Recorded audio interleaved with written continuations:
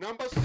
While the congregation celebrated 10 years of existence of Christian broadcasting organization Words of Hope Ministries, the main agenda held in their minds to use their media platform to spread messages of hope, peace, and reconciliation. There are many reasons. First of all, the radio cover a wide area, so the listeners are many, probably compared to one gathering in a church.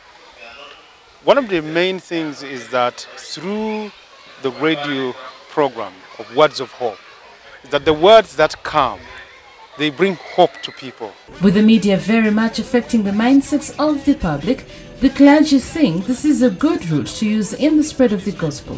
Among the priority areas are South Sudan, which is currently undergoing insurgency. they can stop hostility from one another.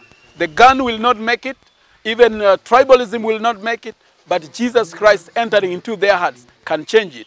So we need to reach out to them, and radio is one of those uh, things. And we hope in the future, even television.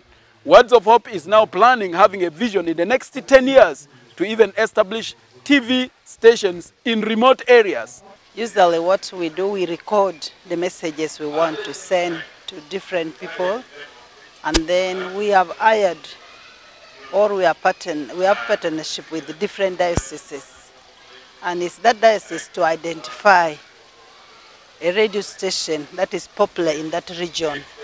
There are strategies in place to make sure that the healing message will reach even the hard to reach areas. Without new tools, these audit tools are very good for nothing. And so this radio ministry is here to help us that we can minister relevantly. The clergy are the latest addition to the group following the trend fast catching on to pray for peace in South Sudan. Report by Sarah Kisache for Urban TV.